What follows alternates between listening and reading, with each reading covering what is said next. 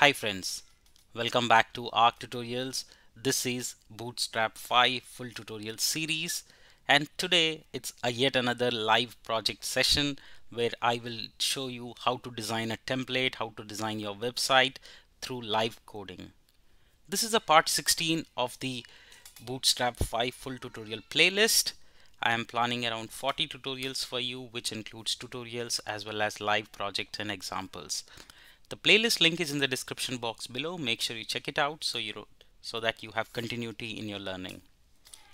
So we have so far we have learned about the grids, we have navbar cards, list, tables, buttons and button groups. In the last uh, episode we did a live project by designing a website and simulating an application called Xylo. Xylo. And today we'll continue uh, enhancing it by adding more functionality features to it. Uh, let's get started. So in the process, we will learn about some of the components that we have learned so far to use them.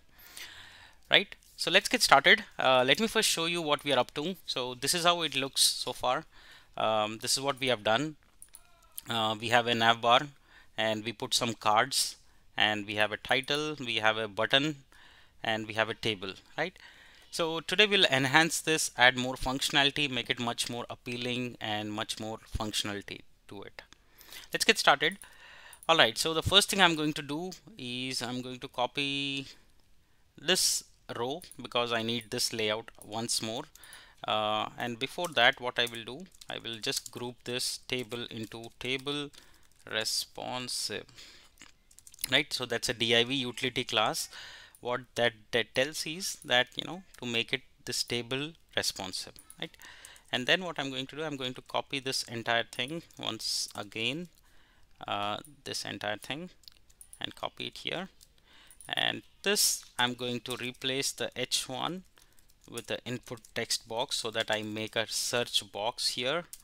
Input type equal to text. And I'm going to say place class equal to form control. I'm going to cover forms in bootstrap in the next episode for you um, so stay tuned for that as well. And now I'm going to say search inside table. Alright so now let's come and refresh. So now we see a beautiful little search text box right? So this can be used to search the text that can be inside of this particular table right? And then I'm saying I don't want this I need a button group right? So let's go here to bootstrap documentation and pick up the standard button group copy and then come here. And instead of this one button paste the button group. And here I'm saying PDF print and I'm saying download. Okay? And also I don't want the full buttons right? That's something that I don't like it because it takes away the primary utility. Uh, so what we will do is we'll put a outline because these are secondary actions right? So always have a consistency in how you design. So now you see we have print PDF download right? So the main action button is always primary.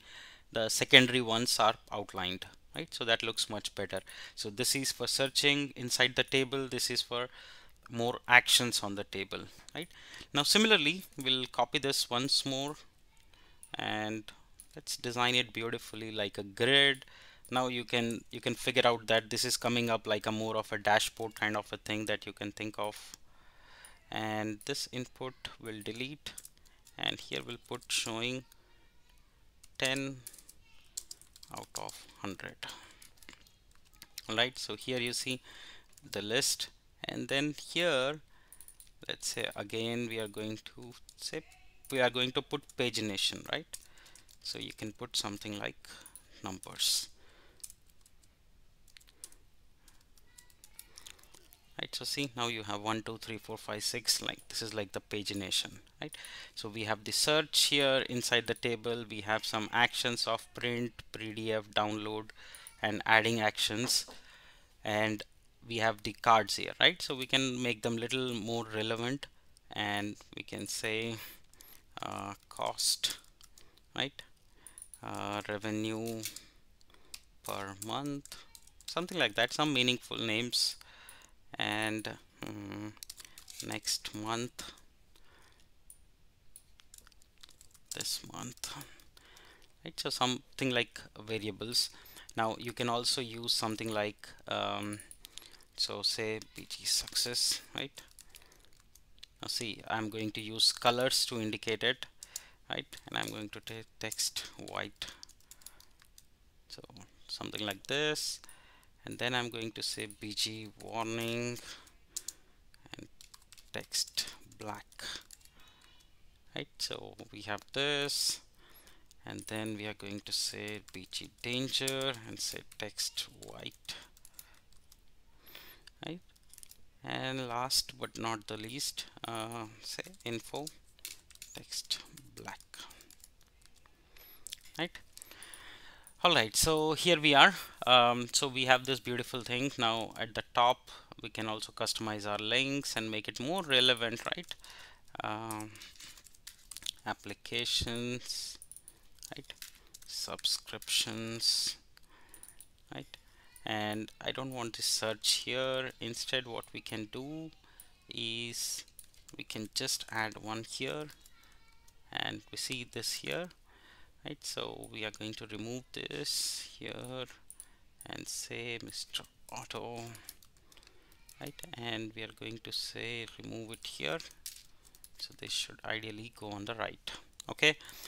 Uh, so now this is disabled. So let's remove this also. So we have applications subscriptions home and at the end towards we can have something like profile logout right so the last link should be logout right.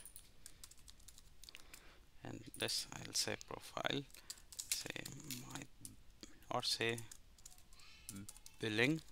Right.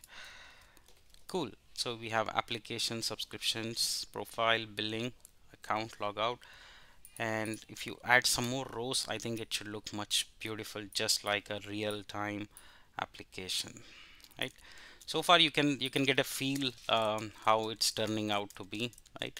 So this is how you can create any dashboard kind of a page in bootstrap right? Which will have some pagination which will have some actions some title and finally some um, thing.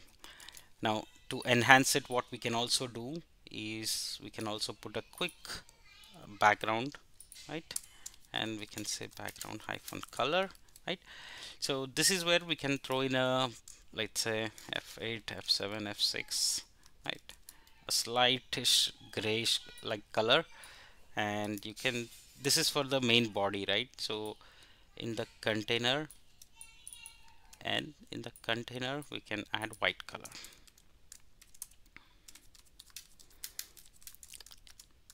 So there are a lot of variations that we can try it out. Now now see now I have added white color here and a little kind of a grayish kind of a background to the uh, body right?